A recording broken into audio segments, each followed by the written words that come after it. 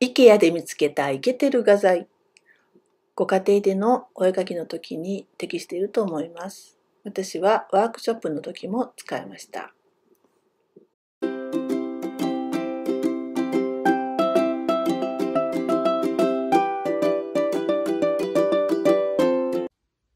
これは IKEA で買ったんですけれども、テープは100均ですね。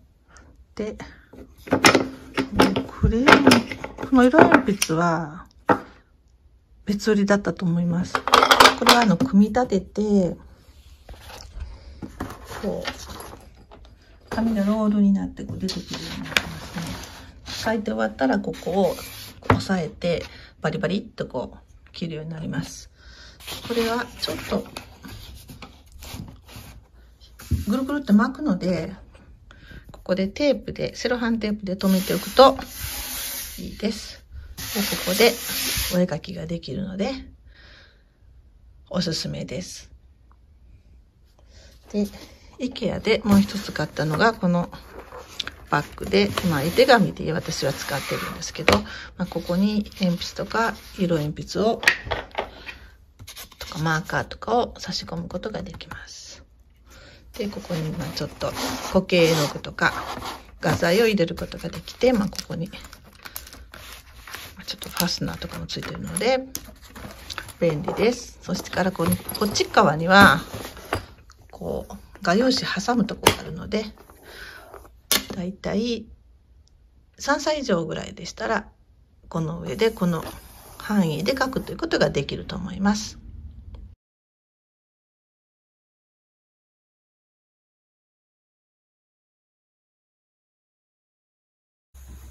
こっちも書いてる、いちご。なかなか丁寧に書きよね。あ、もう一つある美味しそう食べていい？食べていい？バクうん、甘いもう一個と、もう一個書いて。いちごもう一つ書いて。いちごこんにちは。あ、こんにちは。あ、こんにちは。いちごまた来たね。美味しそうないちごやね。こっちにも書いて。大きいが書いて、今度。大きいが。大きいいちご。そうそうそうそうそうそう。大きいね。大きい。あ、大きい。いちごちゃん。こっちにも。まだかけれるで。ちょっと、ちょっと、話ちょっとよいかい？ずるずるずる。こっちにも大きいいちご書いて。大きいね。お、これ大きい。これは大きいいちごやねこれ恐竜さんのいちごや。大きいよし、みんなもっと大きいいちごがいる、もっと大きいいちご。すごい。大きいいちごやねこれゾウさんのいちごや。おー、すごい。よし、今度はもっと大きいいちご書いて。今度もっと大きいいちご書いて。もっと大きいいちご。わー、すごい。こんないちごができたらええにね。あありがとう。よっしゃ。すごいね。すごい、いちごいっぱいいたね。すごいね。こんなにいちご書いた。頑張ったね。